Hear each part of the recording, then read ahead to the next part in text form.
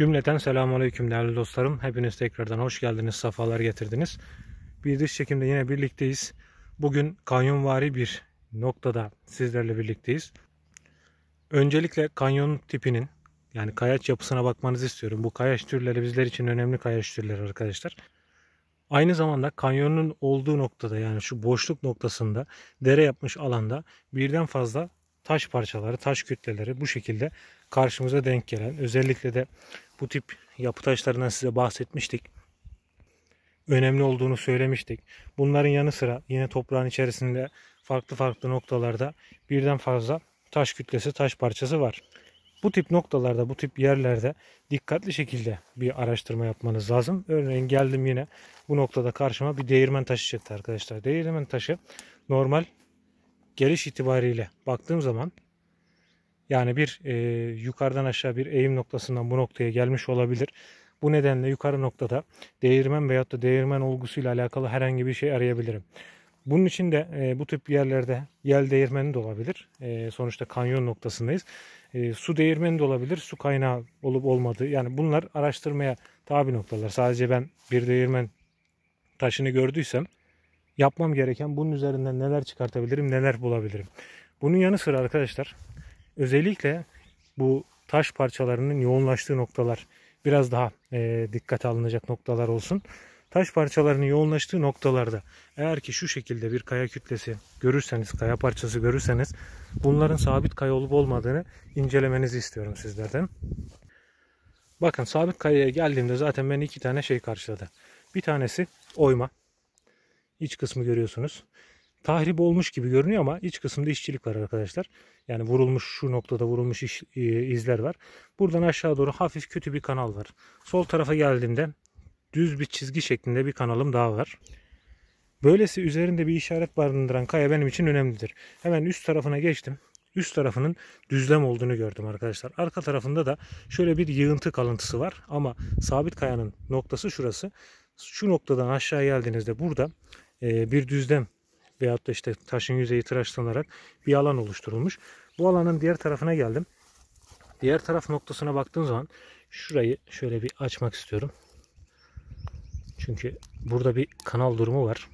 Açamadık ama sadece şu şekilde göstereyim. Aşağı yönlü bir kanal durumu. Buradan mail verdiğinde diğer taraftaki bizim e, anlatan kısma geliyoruz. Yani kanalın alt kısmı buradaki oymanın altından verilen kanal durumunun devamı noktası. Yani şu noktaya geldim arkadaşlar. Burada iki türlü çalışma yapabilirsiniz. Birincisi bu kayanın son bir kaya olup olmadığını öncelikle belirlemek. İkincisi de alt kısım zaten işaret edilen yer nokta belli. Taban kısmı. Bu taban kısmında bizim 30 santimlik çalışmamızı yapmamız. Biz önce bu kayanın sabit bir kaya olup olmadığını belirleyelim. Değerli arkadaşlar üst tarafına doğru çıkıyorum. Başlangıç noktası buraydı. Sol tarafına geldim. Sol taraftan kaya bu şekilde devam ediyor. Kütle itibariyle baktığımda kütlenin büyüklüğüne göre şunu söyleyebilirim ki az önce göstermiş olduğum alandaki kaya büyük bir kaya kütlesi. Sabit bir kaya kütlesi. Sabit kaya kütlesinin tepe noktasına doğru çıktığım zaman şöyle bir seki oluşturulmuş yer görüyorum. Bu sekinin tam çaprazında bir oymamız var arkadaşlar. Oyma çapraz bakıyor gördüğünüz üzere. Yani böylesi bir durumla karşılaştık. Zaten alt kısımda bizim şüphe uyandıran bir yerimiz var. Bir, o cebimizde. İkincisi üst kısma geldim. Üst kısımda seki, tek seki var. Onu da söyleyelim. Tek bir noktadan bahsediyoruz. Basamak ya da merdiven durumu değil arkadaşlar. Bu çaprazlama bakıyor. Çaprazlama olarak geldiğim zaman bu noktada kayanın farklı olan tarafına geliyorum. Yani benim işaretlerimin olduğu yere değil de farklı olan tarafına geliyorum. Farklı olan tarafına geçerken sadece şuna dikkat etmenizi istiyorum. Şöyle şu alanın iç kısmını şöyle ayıkladığım zaman bir kesme kanal durumu verildiğini görüyorum arkadaşlar. Bu tarafa meyilli. Bir kanal durumu da sağdan aşağı bizim işaretlerimizin olduğu noktaya doğru gittiğini görüyorum. Ama ben asıl amacım o oymanın çaprazlamasına gelmek. Geldim ikinci noktadaki kanal durumundan da devam ettim. Bu noktada sabit kayanın olduğu yerden geçerken bakın şuradaki kanal durumuyla karşılaştım hemen.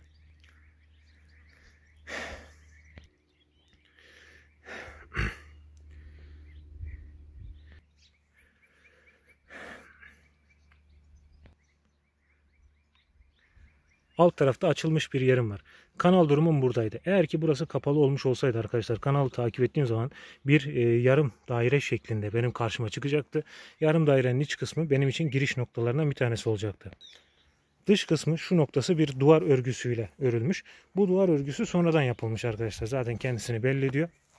Yani bir medeniyet kullanmış daha sonra başka bir medeniyet burayı yine kullanım olarak belirlemiş. Bizim için önemli unsur kanal durumunun takibiydi. Biz bu alana Sekin'in bir bakış açısından geldik ve e, geldiğimiz noktada açılmış bir yerimiz var. Şüpheli diye tabir ettiğimiz alanımız hemen biraz daha ilerimizde. Benim yapacağım asıl tespitleme ne biliyor musunuz arkadaşlar? Bu alanın bu açılmış yerle eşdeğer olup olmadığı. Yani bu alanın açılmış noktanın iç kısmı oraya kadar tekabül ediyor mu etmiyor mu? Ben bunu belirleyeceğim. Bu yüzden açılmış bir yeri görünce herhangi bir önemi yoktur deyip geçmenin bir e, mantığı yok. E, yani açılmış yeri gördüğüm zaman tespitleme açısından ikinci bir e, yerin varlığı konusunda da böyle bir yönteme gidebilirsiniz. Geldim iç tarafına. İç tarafına geldiğimde kaya yüzeyinin başlangıç noktası burası arkadaşlar. Bu nokta başlangıç noktasıysa benim işaretim bunun daha ilerisinde. Yani şuradaki kayada. Bu benim işaretimin göstermiş olduğu yer değil. Bir kere bunu net olarak söyleyebilirim. İkincisi buranın üst kısmında bir kanal durumu var arkadaşlar. Kanal şekli benzer şekilde diğer tarafta var. Bu noktayı gösterir şekilde bir kanal durumunun şuradan verilmiş olduğunu gördüm. Bu kanal durumu burayı gösteriyorsa diğer onun yanında gösteren ikinci kanal durumu da diğer tarafı gösterebilir. Öncelikle bir iç kısmına bakalım. İçeriye şu şekilde girdik arkadaşlar. Yapı itibariyle Bizim için e, önemli unsurlardan bir tanesi dedik ki iç kısma girdiğinizde köşe noktaları, taban tavan kısımları incelemeye tabi yerlerdir dedik. Şimdi taban kısmı dolgu arkadaşlar dolmuş. Burası bir dönem kullanılmış. E, ilk yapılış itibariyle daha sonraki dönemde kullanılmış. Hatta ölü yatağının olduğu nokta başlık kısmı şurası. Bu nokta e, daha sonra işte çeşitli taşlar konulmuş. Başka bir amaç içinde kullanılmış diyebiliriz. Ölü bu noktaya yatırılmış arkadaşlar. Ayak kısımları bu tarafa doğru vermiş. Başlık kısmı dediğimiz gibi bu kısım. Ayak kısmının uç kısmına geldiğimde iç kısma doğru oyulmuş bir oymam var. Yani bunlar saklama alan noktaları olarak karşıma denk gelebilecek yerlerden bir tanesi. Aynı zamanda arkadaşlar dikkatimizi çeken bir şey var. Ayak kısmının uç kısmına yapılmış oymanın bu noktadan bir kanal verdiğini görmekteyim. Buraya doğru ince bir kanal geliyor gördüğünüz üzere. Hani bu su kanal ya da benzeri bir kanal şeklinde değil. Bir kere onu söyleyeyim. Hani sarnıç mantığıyla bakan arkadaşımız olursa sarnıç mantığına düşmesinler. İnce bir kanal. Hani buradan gidebilecek bir su zaten hemen taşkın olacaktır. Bu kanalın e, bizim odanın iç kısmının dip kısmına geldiğini görüyorum. Dip kısmına geldiğim zaman bu şekilde bir nokta var. Bu nokta ikinci bir odanın olduğu yere geçiş arkadaşlar. Odalar arası geçiş sistemi nasıl olabilir veyahut da işte e, bir odadan diğer odaya geçiş nasıl yapılabilir diye böyle bir aklımızdan geçiriyoruz ya. En küçük şekillerinden bir tanesi bu. Buradan geçmeniz için sürünmeniz lazım arkadaşlar. Sürünerek diğer odaya geçersiniz. Buranın ilk halini düşünün. İlk halinde burayı kapattı, kapalı olarak düşünün arkadaşlar. Bu kanal olmasaydı eğer dip kısmında bir araştırma da yapmasaydınız zaten e, herhangi bir sonuca ulaşamayabilirdiniz. Bunun yanı sıra hemen sol tarafta dip kısımdan sağ yönlü bir e, yer açılmış. İşçilik durumunu zaten görüyorsunuz. Bu da aynı şekilde bizi getirdiği yer köşe noktası yani dip noktası diye tabir ettiğimiz nokta. Bu noktanın diğer bir odaya geçişini görüyoruz. Tabi diğer odada açılmış. Gün ışığını görebiliyorsunuz. Birazdan o kısma da geçip o kısımda da gösterelim. Bir de şunu söyleyeceğim arkadaşlar. Şurada sıralı oyma biçimlerini görüyorsunuz. Bu tip sıralı oymaların Yedili halleri bizler için kıymetlidir. Tekil rakamlar da bizler için kıymetlidir. Büyükten küçüğe doğru bir sıralama varsa bu yön istikametidir. Bu tip yön istikametlerinde genel itibariyle saklama noktaları karşımıza denk gelebilir. Alanın ilk yapılış dönemi itibariyle gerçek mezar yeri burası iken e, saklama odası diye tabir edebileceğimiz nokta iç kısımda. Aynı zamanda tam tersi burası fake mezar diye tabir ettiğimiz bir mezar durum olup gerçek mezar diğer tarafı olacak şekilde bir tasarım da içermiş olabilir. Hiçbir zaman şunu unutmayalım. Tek bir yorumlamayla, tek bir e, çözümlemeyle hareket etmek doğru değildir. Birden fazla çözümleme yapmakta fayda var. Benzer şekilde iç kısma yapılmış aydınlatma noktaları. Bir de şunu söyleyeyim. Mesela buradaki oymalardan bazılarının e, dedik ya burası daha sonraki dönemde de kullanılmış diye duvar örgüsünden dolayı söyledik. Daha sonraki dönemde de kullanıldığı zaman bir biçiminde veya da zaman e, içerisinde yapılmış olma ihtimali de var. Yani öncelikle birinci e, yapan kişilerin yapmış gibi düşünüp ona göre hareket etmektense ayrımlama yapmayı tercih ederim. Ona göre bir planlama yapın. Tavan kısmında oymalar arkadaşlar. Bu tavan kısım oymalarında dikkat edeceğiniz unsur şu. Yani bir harçlama durumunun olup olmadığı. Bu tip harçlama durumlarında saklama durumu olabilir. Buna bakmanız lazım. Onun haricinde dikme yeri olarak da kullanıldığı e, sık sık karşımıza denk geliyor. Mesela karşıdaki oyma biçimine gelelim. Şuradaki oyma biçiminin iç kısım derinliğini görüyorsunuz. Yuvarlak bir e, kazan altı diye tabir ettiğimiz nokta gibi. Bu nokta hemen yan tarafında bir oyması var arkadaşlar. Bu noktayı kapattığınız zaman geriye ne kalacak? Oyma kalacak. Yani oyma sana bu tarafa doğru yön verecek. Bu tip e, noktaların saklama alanı olarak karşımıza denk gelebileceği ihtimallerinde her zaman oymanın iç kısmından yön verilmiş durum bizim için kıymetli e, şeyler arasındadır, işaretler arasındadır. Buna göre bakmakta fayda var. Tabanı dediğimiz gibi dolgu.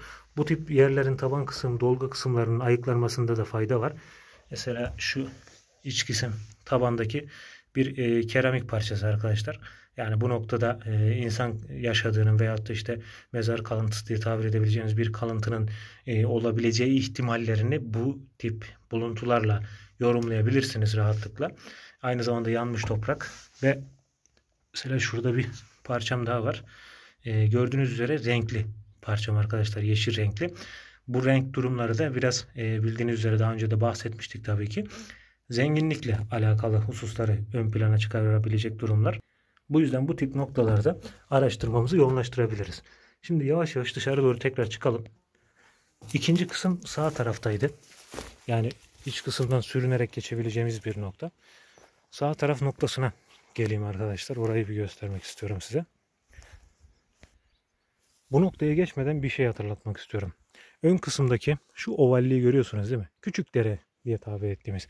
Aynı şekilde bu tarafa geçin. Bu tarafta da küçük dere diye tabir ettiğimiz. Yani bir çöküntü noktası var arkadaşlar. Bir düzlem yerine denk geldiniz ve düzlem yerinde bu tarz bir e, çöküntü noktası karşınıza denk geldi. Eğim noktası olarak. Karşınıza gelen bu alanlarda, bu tip yerlerde geri planında işaretinizin olup olmadığını kontrol edin. Geri planında saklama noktası ya da kapalı alan noktası diye tabir edebileceğimiz bir yerin varlığına bakabilirsiniz. İkinci noktaya geldik arkadaşlar. İkinci noktanın e, güneş alan kısmı burasıydı. Bu kısım itibariyle, üst kısım itibariyle baktığımızda bu noktanın e, zaten tahribat olduğunu görüyoruz. Burada bir işaret durumumuz söz konusu değil.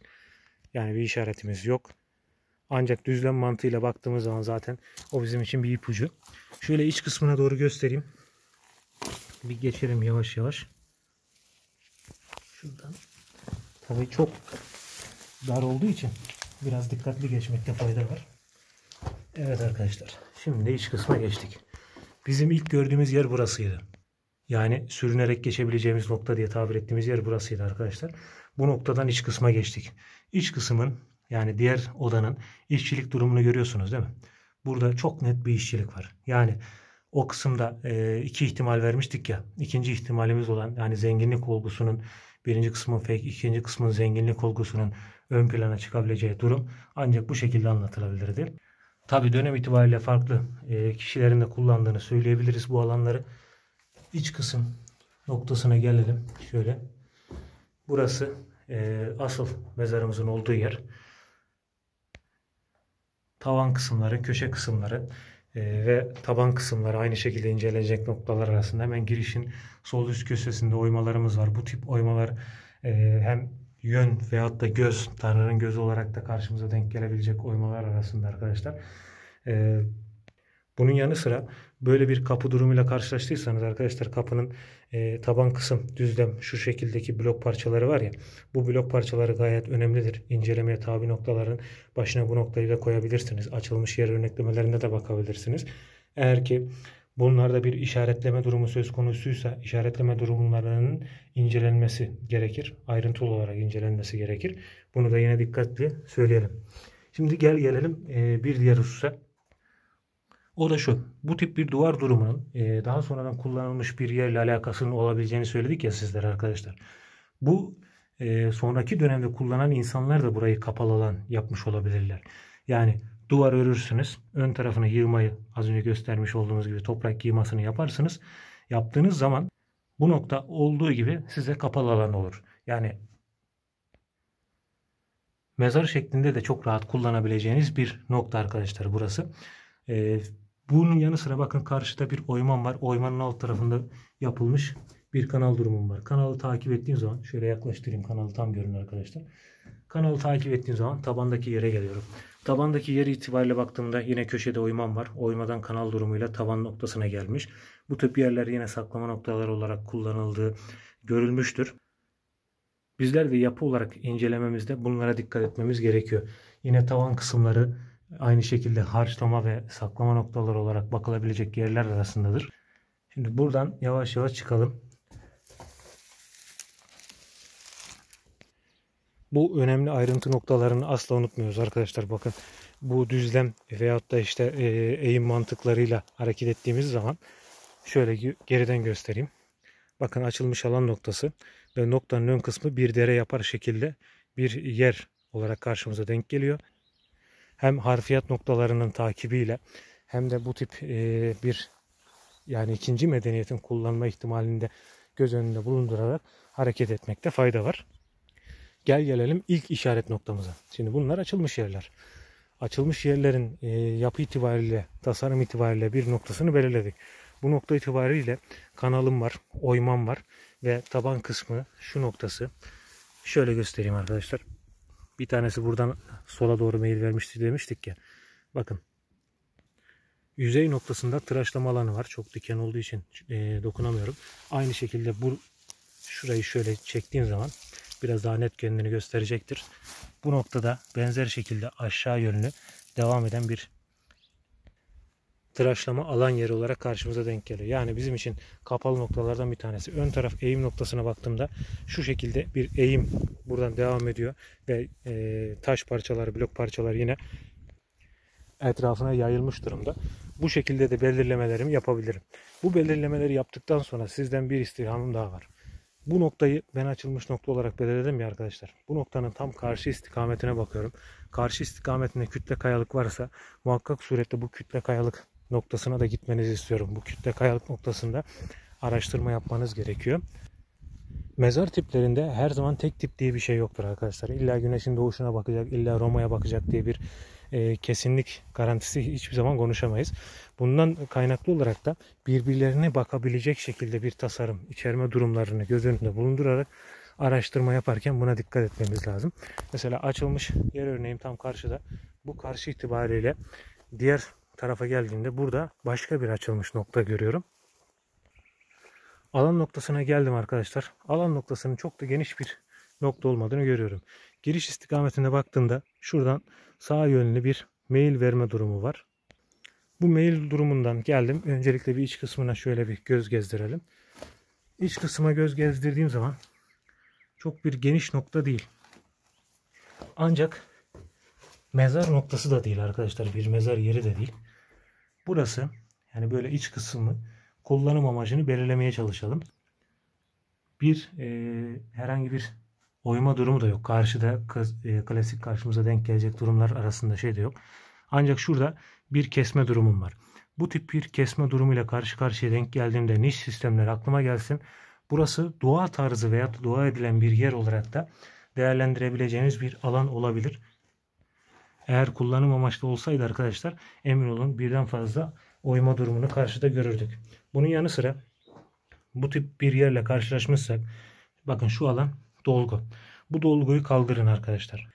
Bu dolguyu kaldırdığınız zaman ön kısımda sandık gibi bir e, kayanın iç kısmı oyulmuşsa buralarda yine e, kutsama alanı veyahut da arınma havuzu medeniyetlerine göre, dönemlerine göre değişebilir. Böyle bir e, alanla da karşı karşıya gelebilirsiniz. Bu arınma havuzlarının iç kısımlarının kontrolü de gayet önemlidir. Peki e, böyle bir yere geldim. Tek bir nokta var. İlla tek nokta mı olacak? Belki ikinci bir nokta da etrafta olabilir. Bu nedenle araştırmaya devam etmeniz lazım. Sabit kaya kütlelerinden üst kısma geçtiğimizde daha önce sizlere göstermiş olduğumuz e, ve sık sık da bahsetmiş olduğumuz alivyonik yani birikinti e, taşların oluşturmuş olduğuk bir kayaç türüyle karşı karşıyayız. Bu kayaç tam olarak şu noktanın yani açılmış noktanın arka kısmına denk geliyor. Böyle bir kayaç türünde etraflıca sağını solunu bir incelememiz lazım arkadaşlar. Şimdi sağ tarafına doğru geldim. Herhangi bir durum karşımda değil. Oyma gibi görünen bazı yerler karşınıza çıkabilir. Bunlar sizi yanıltmasın arkadaşlar. Onlar oyma değil. Çünkü kayacın kendi türüyle alakalı bir durum. Ancak sol tarafa doğru geçerken dikkatimi şurası çekiyor. Bu tip e, çökme alanının ön planda olacağı yerler olduğunu söylemiştik ya sizlere. Bakın tam karşıda bir oyman var arkadaşlar. Oymanın meyil durumuna göre sol tarafa doğru veriyor. Sol tarafa iç kısma doğru şöyle yakınlaştırayım. Gördüğünüz üzere aşağı yönlü bir çökmem var arkadaşlar. Bu tip noktalarda yılan kamerası alacaksınız. Yılan kamera size oda boşluğunu verdiği zaman araştırmayı ona göre yapacaksınız. Bir diğer husus da yani burada bir e, oyma şekli yapıldıysa arkadaşlar direkt çentik izlerini görebilirsiniz. Şöyle bir yaklaşalım. Bakın şu çentik izi gördünüz mü? Şurada bir oyma durumu gibi bir yer var ama alt kısım çentik izi. Benzer şekilde hani düzlem mantığına da bakın arkadaşlar. Düzlem mantığı da kayanın yapısıyla e, ters orantılı olarak yani burası düzlenmiş bir alan olarak da karşımıza denk gelmekte. Bu tip noktalar önemli yerler. Önemsiz değil arkadaşlar ama e, güvenlik açısından sıfır noktalar diyebilirim. O yüzden gayet dikkatli olmanız lazım. Gayet dikkatli hareket etmeniz lazım. Hemen yan tarafta bir e, çalışma yapılmış. Oraya doğru bir geçmek istiyorum. Bu tip çalışma alanları yani çalışmadan arda kalan parçalar. Şu nokta ağacın dip kısmı arkadaşlar. Dip kısımda bir çalışma yapılmış ama neye göre yapılmış onu görmek istiyorum. Sizler de bakın değerli dostlarım. Şimdi üst kısımdan şöyle kayanın yüzeyinden taban kısmına kadar olan kısmı göstereyim. Bakın herhangi bir işçilik durumu söz konusu değil. Doğal kayaç yapısı. Buna rağmen burada bir çalışma olmuş ağacın köküne doğru. Bu tip çalışmaları en sık nerede görüyoruz biliyor musunuz arkadaşlar? Çubuk bakan arkadaşlar da görüyoruz. Çubukla buraya geliyor. Rastgele bakıyor. Ya şimdi şunu söyleyelim. Şu kayaç türünü görüyorsunuz değil mi arkadaşlar? Bu kayaç türünde inanılmaz boşluk bulursunuz. İnanılmaz. Bu kayaç türünün dibinde inanılmaz boşluk bulursunuz. Çubuk kullananlar iyi bilir. Eğer ki sağlam bir tecrübeniz yoksa çubuk konusunda veyahut da elinizdeki çubuklara hakim değilseniz böyle size de bu tip boş çalışmayla karşı karşıya gelebilirsiniz. İster keşif çalışması olsun ister başka bir şey olsun. Bir de daha önce de burada hafiften bir çalışma yapılmış gibi görünüyor. Sırf şu kayaların hatırına yapılmış. Ancak bakın burada kayaları gördünüz değil mi? Toprak yüzeyinde. Buranın eğim noktasını göstereyim size. Eğimi görüyorsunuz. Eğimin üst kısmında yine kaya kütlelerini görüyorsunuz değil mi? Bu kaya kütleleri yukarıdan gelen kaya kütleleri. Yani değerlendirme açısından biz bu tür bir değerlendirmeyi yapmazsak inanın bana daha çok ağaç dibi, dibi kazarız yani onu söyleyeyim. Ha şunu söyleyelim aynı zamanda burası normal bir keşif mantığında kazılmış. Herhangi bir işaret bir durum yok. İşarete ya da benzeri bir şeye tahribat da verilmemiş. Bu tür e, durumlarda dikkat etmemiz gereken unsurlardan bir tanesi budur. Aman ha dikkat diyeyim arkadaşlar. Yine kayaç türü bakımından böylesi bir kayaç türü ya da alüvyonun kayaç türlerinde bakın şu alanı bir kırma parçalama yapmışlar. Bu tarz şeylere kesinlikle karşıyım ben. Ee, yani kayaç türünün yapısına göre burada bir şekil de karşınıza çıkabilir arkadaşlar. Şeklin karşınıza çıkması önemli değil. Önemli olan şeklin bir insan elinden çıkması. Yani bir e, işçilik durumu, bir yapı durumunun olup olmadığının belirlenmesi. Eğer ki sen bunu belirlemeyip de direktmen bir şey var, bunun içinde de bir şey olabilir ya da birilerinden böyle bir şey duyup işçiliğe geçmeye çalışırsan yine sadece tahribatla kalırsın. Bunlar yanlış durumlardır arkadaşlar. Hadi keşif çalışması bir yerde anlaşılabilir ama yani kırmak, vurmak, parçalamak bizlerin asla yapmayacağı şeyler arasındadır. Yani bunu da zamanla kanıtlayacağız Allah nasip ederse. Toparlama anlamında söyleyelim arkadaşlar. Vadi gibi bir noktada izledik. Bu vadi gibi noktada e, öncelikle taş bloklarının, taş kalıntılarının izini sürdük. Bu taş kalıntılarının izini sürdükten sonra karşımıza açılmış iki nokta geldi arkadaşlar. İki noktanın iç kısımlarını inceledik. Birinci noktayı incelediğimizde ikinci noktaya bir geçiş gördük. Bu geçişlerin kapalı ya da açık konumda farklı farklı olabileceğini söyledik. Daha önce de e, birkaç videomuzda sizlere bahsetmiştik. Böylesi yerlerde birinci noktanın bir fake mezar olarak karşınıza çıkabileceği veyahut da bir fake oda şeklinde karşınıza çıkabileceği durumlarından bahsetmiştik. Bu da bunun güzel bir örneği oldu. İç kısma, diğer kısma geçtiğiniz zaman diğer kısmın daha güzel bir e, versiyonla yapılmış olduğunu, daha güzel bir işçilik barındırdığını net olarak belirledik. Bu belirlememize istinaden ikinci kısım bizim için önemlidir dedik. Bunun yanı sıra bunların e, bulunduğu alan noktasında e, kapalı bir alan yeri belirledik ama kanal durumuna baktığımız zaman ince küçük kanal şeklinde olduğu için yarım e, dairede sayılabilir. Bu tip e, noktalarda kapalı yer karşımıza denk gelebilir çünkü benzer özellikleri taşıyorlar. Şimdi kapalı yerin tam karşısında şöyle bir kaya kütlesi var. Bu tip dedim ya yani bir noktada şüphelendiğiniz bir yer veya da bir yer tespiti yaptınız. Onun tam karşısında bir kayalık alan varsa ve arada da böyle bir çöküntü varsa sizden istirhamım karşı kayalık noktasına da bakmanız. Az önceki bir e, yer gibi de karşınıza denk gelebilir. Hiçbir şekilde bir işaret olmaksızın veya da bir e, yapı karşınıza denk gelmeyebilir. Ama her ihtimal dahilinde bakmamızda fayda var. Şimdi geldim burada bir kaya kütlesi var. Kaya kütlesine etraflıca şöyle baktığım zaman yapı itibariyle ya da işaret itibariyle şunları işaret olarak algılamayın. Yaklaşayım ki net olarak belli olsun arkadaşlar. Bunlar işaret değil. Şöyle iç kısmını da göstereyim. Bir oyma ya da benzeri bir durum değil. Hani şurada şöyle bir şey gibi görünüyor, çentik gibi görünüyor. Kamera açısından bazı şeyler işaret gibi karşınıza çıkabilir. Ancak benim için önemli olan bunun içerisinde bir işçilik var mı yok mu? Bunun belirlenmesidir. E, lakin kaya yüzeyinde herhangi bir işçilik durumuyla karşı karşıya gelmiyorum. Karşı karşıya gelmediğim zaman da burada kalkıp e, işte bir takım çalışmalara, bir takım araştırmalara girmeme gerek yok. E, bunun yanı sıra daha çok e, yani belirlediğim alanda keşif çalışmalarına devam etmem daha faydalı olur. Ancak her zaman söylediğimiz gibi içten dışa doğru araştırmaya yöneltmemizde fayda var. Bu tip noktalar teknik için uygun noktalardır. Onu da belirtmiş olalım. Ee, çünkü yaşantı kalıntısı veyahut da işte iç kısımdaki renkli keramik parçalarının e, ortaya çıkması bunların hepsi önemli ayrıntılardır. Bilindiği üzere hazineler ayrıntıda gizli arkadaşlar. Sadece şeytan ayrıntıda gizlidir diye mantığıyla bakmayalım. Hani arazi yüzeyini gezerken gördüğünüz bir parça dahi sizi birçok noktaya, birçok e, alana götürebilir. Aynı zamanda birçok hususta ipucu verebilir. Bu yüzden bunları asla pas geçmeyeceğiz. Araştırmamızı yoğunlaştıracağız. Bunlara dikkat edeceğiz değerli arkadaşlarım, değerli dostlarım. Ee, yani toparlama olarak da bu şekilde bahsedelim. Bu tip yığıntı noktalarına da dikkat edin. Eğer ki çevrede oymanız varsa e, bir yuvarlak oyma ya da benzeri bir durum mezarın yön istikametini bulduğunuz zaman böyle bir yığıntı noktasıyla karşı karşıya gelirseniz mezarın bizzat kendisinin üzerindesinizdir demektir. Bunlar toprak tipi mezarlar arkadaşlar. Hani fakir tipi diye söylediğimiz mezar sistemleri olarak da karşımıza denk gelebileceği için çok fazla e, yani bir keşif çalışmasına gerek duyulmayan ya da çalışmaya hele hele hiç gerek duyulmayan durumlardır. Mezardakiler rahatsız etmeyin aman buna dikkat edin. Hani biz daha çok açılmış yerlerin yakınında bir yük durumunun olabilme ihtimali üzerinde bir hareket planı çizmeye çalışıyoruz.